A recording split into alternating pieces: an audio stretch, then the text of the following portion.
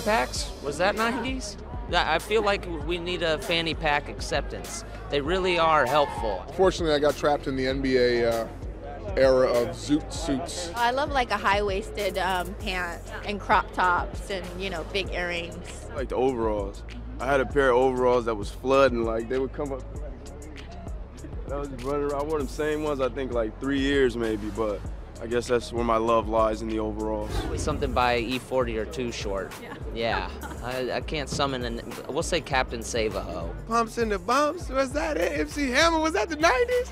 I think so. I'm gonna go with that. Uh, I was a Soul II Soul guy, uh, back to life. Uh, had a lot of. Um, I left my Wallet in El Segundo was a was a big one for me. Tribe Called Quest.